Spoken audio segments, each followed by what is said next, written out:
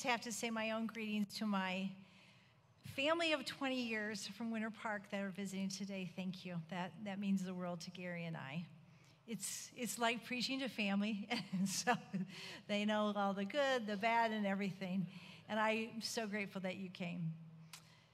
So, back in 1979, there was a group of people that were excavating in just outside of Jerusalem in a place they thought was ancient, the city, ancient city of uh, Gehenna. That would be just outside the, the walls of Jerusalem. And while they were excavating, they came across a piece of scripture that we now believe is the oldest written down scripture that we have. It's actually 400 years older than the Dead Sea Scrolls. And the thing that it said, it wasn't much, but the thing that it said was Romans 6. May God bless you and keep you. May God's face shine upon you and be gracious to you. May God turn his face towards you and give you peace. This, of course, is a priestly blessing we've all heard, and it was for ancient um, people in Jerusalem. This was the blessing that parents gave to their children on Friday nights. We bring this up today because over the past um, several weeks, we are in a sermon series called Firm Foundations, where we're looking at what do we believe as United Methodists. I mean, it matters what we believe. We call ourselves United Methodists, but if you don't know what we believe, then you really can't live into your identity until you do know. And so we're, we're talking about each week different theological truths, and today we're going to talk about Scripture, what we believe about Scripture, how we should approach Scripture. And I just, I hope this will be helpful to you. We're going to begin our reading today out of 2 Timothy 3 14 through 17. And this is a passage where Paul is writing a letter to his friend Timothy. And he's trying to encourage him in the faith. He can't get to him now, and so he's trying to encourage him. And I'm going to read to you from the scriptures. But you must continue with the things you have learned and found convincing. You know who taught you. Since childhood, you have known the Holy Scriptures that help you to be wise in a way that leads to salvation through faith in Christ Jesus. Every scripture is inspired by God and is useful for teaching, for showing mistakes, for correcting, for training character, so that the person who belongs to God can be equipped to do everything that is good. This is the word of God for the people of God. Thanks be to God. All right, so this is Paul appealing to Timothy, who needs some encouragement. He's saying, Remember your heritage. Who taught you? What do you have? You have Holy Scriptures with you, you have the lessons that have been taught to you. And we know from the Scriptures that Timothy had his mother and his grandmother raised him in the faith, and then he and Paul had spent time together. They traveled together, and so he has the encouragement of Paul as well. And, and Paul is re- reminding him to think about your heritage. And, and I would ask the same thing of all of you. Who comes to your mind when you think about those people who had an influence over your life? What face do you see when you think who introduced you to Scripture or who introduced you to, to church or going to church or worship? I would first say my parents. My parents made me go to church. It was never an option. And we were there when the church was open. But then when I was in high school, when I probably could have gotten out of some of the church, there were youth pastors who were there for me, who understood me, who were cool, cooler than my parents. And then when I got in my 20s, when a lot of people quit church, you know, a lot of our 20 year olds quit going to church in their 20s until they have children. Well, it was during that time there was a woman named Kit Mastro who took an interest in me. And she challenged me to read books of faith, and she challenged me to go deeper in my understanding and to practice faith. And that was very it was extremely life changing for me, and it kept me in the church. And so, the same thing is what Paul's saying to, to Timothy. I can't be there now. In fact, we know probably Paul was in prison at this point, and he was never going to see Timothy again. But he was saying, Remember what you have. You have a heritage of faith, and you have holy scriptures that will carry you, that are sufficient for you. So, one of the things we've been doing is looking at our book of discipline. So, what is our book of discipline? Our book of discipline is a book that United Methodists that leads and guides us. It is grounded in Scripture, and then we've taken the, the notes of John Wesley and the sermons of John Wesley to help shape and form it. It is, um, it is our faith, our, the United Methodist movement was started by John Wesley back in the 1700s, so this is old and the language sounds very old fashioned, kind of hard to understand. It's kind of what you almost would call our Constitution, our Book of Discipline. So I want to read to you what it says in Article 5 of, um, on Holy Scripture. The Holy Scripture containeth all things necessary to salvation, so that whatsoever is not read therein, nor may be proved thereby, is not to be required of any man that it should be believed as an article of faith or be thought requisite or necessary to salvation. In the name of the Holy Scripture, we do understand those canonical books of the Old and New Testament of whose authority was never, in, never any doubt in the church. That's a mouthful. What that basically means is that our scriptures are fully inspired by God. There's no question about that. They are fully inspired by God. God, in His mercy and grace, chooses to use human beings to write down His holy scripture, His words, His thoughts, His ideas. He also uses human beings to spread the gospel. He lets people like me up in a pulpit and he uses all of us to teach to others. He entrusts so much, something that's so important in life changing. He entrusts to humans. And he did that with scripture. He inspired authors through, through their personalities and their minds and their hearts, and he inspires them to write down what they should write down, to send the message that he gave them to send. But John Wesley in our book of discipline never says or affirms inerrancy of Scripture. Now, that kind of can throw you. You can say, well, how could something, you know, it must be inerrant. It's the Word of God, but as I said, it's human beings who received it. And it was human beings who wrote it down. And see, let me see if I can give you an example. If you were to lay down the four Gospels, Matthew, Mark, Luke, and John, side by side, open them up and started comparing them, what would you find? They are not exactly alike. Some of them have some um, stories, and others don't have some of the stories. Some of them have all the stories. But you'll also see the order of the stories, the sequence in which they occurred, is changed depending what book it is. Some are at the beginning of Jesus' ministry, but yet in another book, it's at the end of Jesus' ministry. The authors themselves each had an agenda. One was writing to Jews, another was writing to Gentiles. There are differences in this book, in these four books. Yet, what is amazing is they all have the same theology. They all tell the same story of Jesus Christ that he lived, that he died on the cross, that he was resurrected, that he ascended into heaven. They all say the same truth about the life of Christ and the truth and the good news of the gospel. They all say that. What is amazing is how similar they are. Not that there's differences, but that they're similar, they're alike. That's what is life changing. If you think about it, if there were four witnesses to a crime, you would get four different stories, right?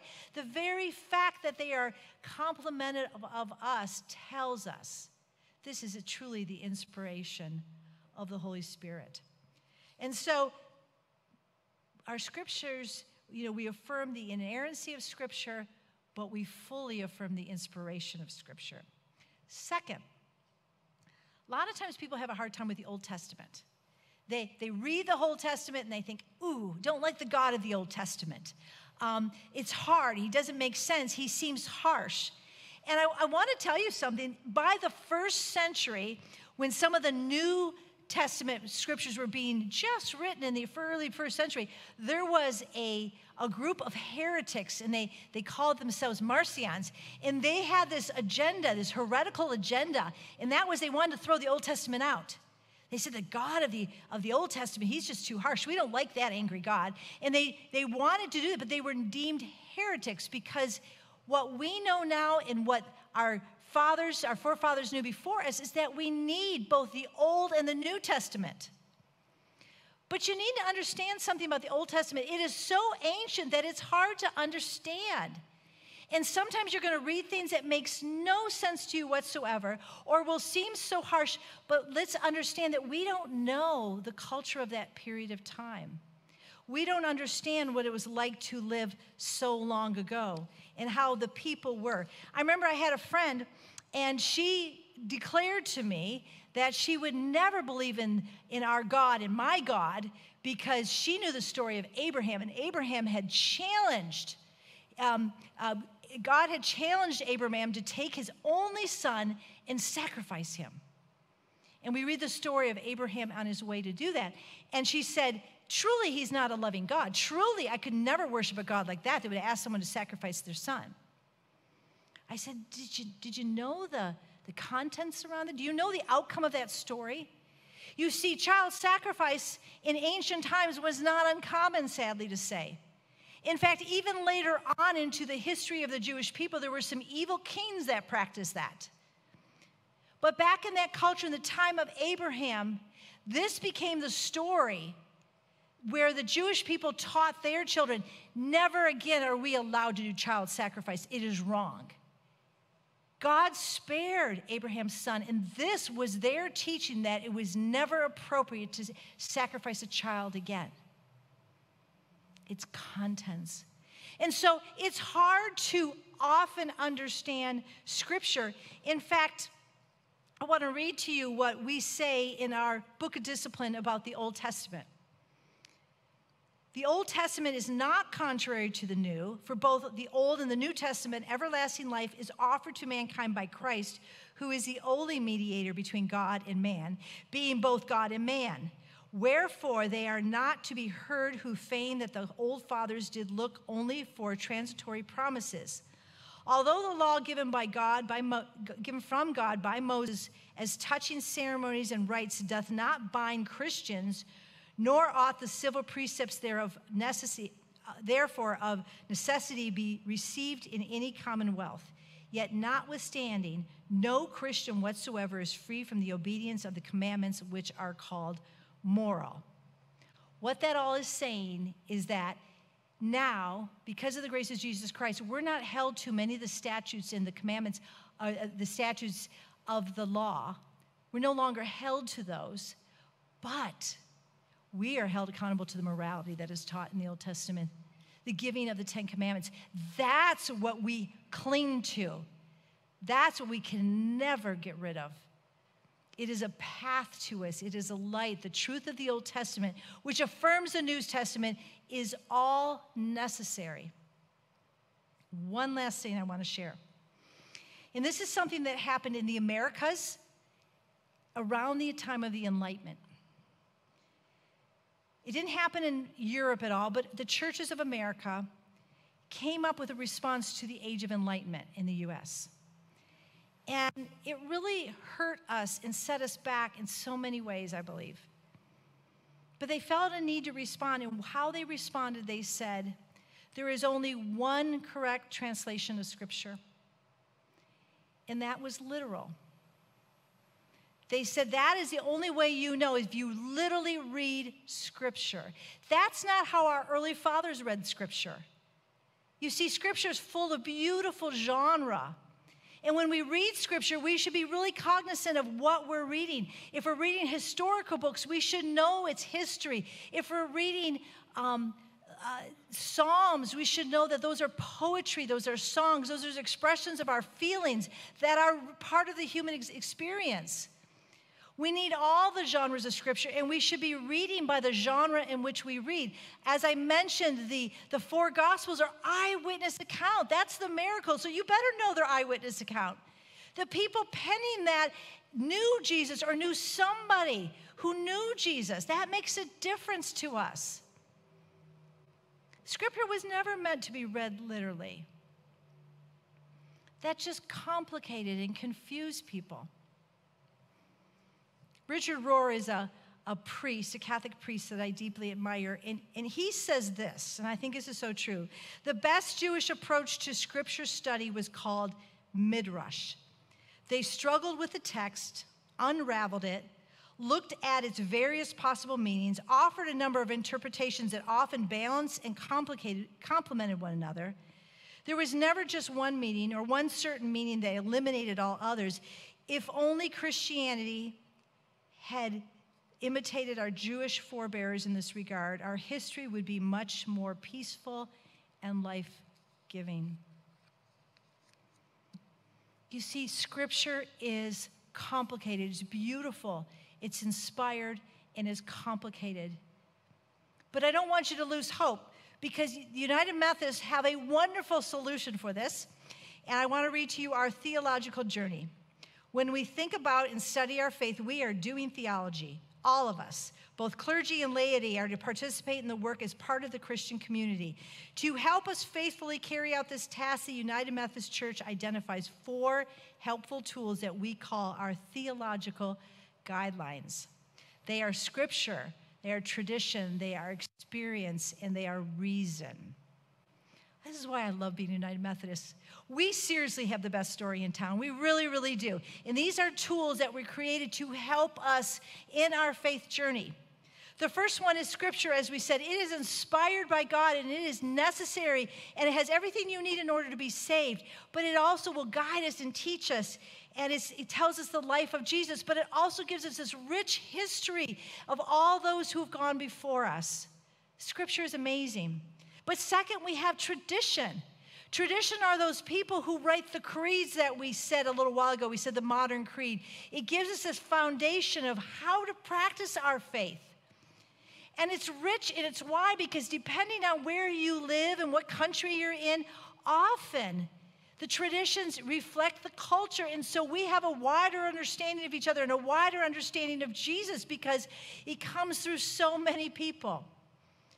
And then we have experience, which is experience, man, oh man, it is what is necessary. You need to see the faith of others in order to figure out how to do your own faith. Our experience matters. John Wesley, long ago when the Anglican Church said experience can't be trusted, he said, yes, it can. The way you experience God, it must be grounded in Scripture, absolutely grounded in Scripture. But how you experience God and how others, depending on the way you've lived your life. You experience faith differently if you've lived a life of racism or you were imprisoned, or depending on where you are, you experience your faith differently, and your experience matters. It teaches us, it teaches us about actually living. And the last thing is reason. Corinthians 2:16 said, "Who has known the mind of the Lord? Who will advise him? But we have the mind of Christ." That is so important. God has given us all a mind inspired by the Holy Spirit to guide and lead us as we interpret Scripture. Some of the ladies that sit here in the front row from Winter Park were with me for Bible study. We did Bible study for 16 years. Oh my, I love my Bible study. That was just, it was an amazing thing to me because we wrestled with Scripture. We didn't always like Scripture. We tried to find compromise in Scripture. We studied Scripture. Some of it was boring, some of it was life giving, but we did it. And we were so proud to get through some of the really tough books. We have reason to help us in our study. So we have these tools. We have scripture, tradition, experience, and reason. But there's one more thing that you need something that none of us should ever approach scripture without. And I want to read what Kirk Miller says because he says it much more beautifully than I can.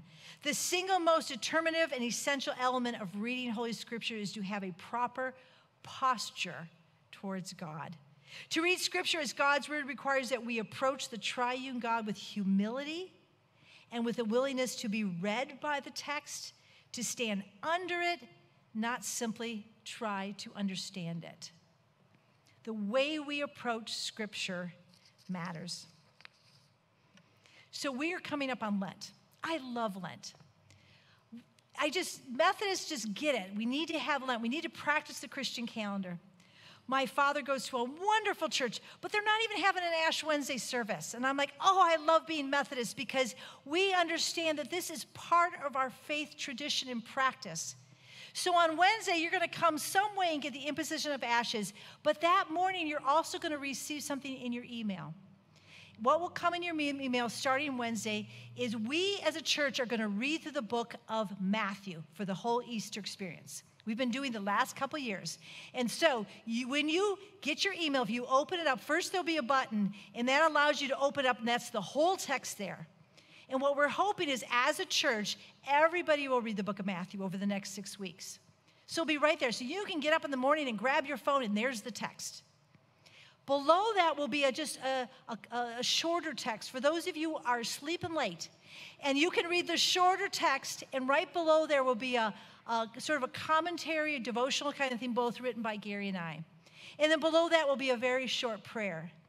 And what I know is by the time we get to Easter, some of you read the whole book of Matthew, and some of you read parts of the book of Matthew, and we will all be blessed because we're reading our Bibles.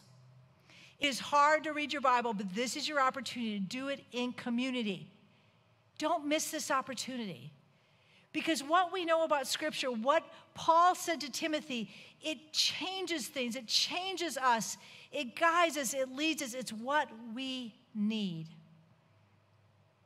Later on, when we go out to the gazebo and you, you want to have coffee with the pastors, don't worry about the coffee. Come out there. If you don't get the Friday connection, if you don't get the, the Monday recap, be sure to come out and we'll take your information and make sure you're in the system so you'll receive that email.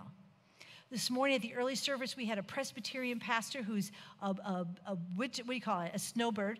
And he said, Can I read with your church? I'm like, Yes, you can read with our church because we are all one community reading God's word together.